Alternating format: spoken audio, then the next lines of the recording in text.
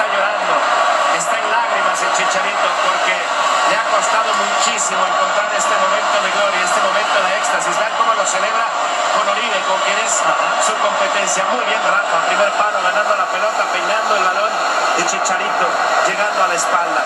Ojo, ojo. Si termina 3-1 el partido de Brasil en Brasilia, México con un gol más a favor estaría siendo primer lugar de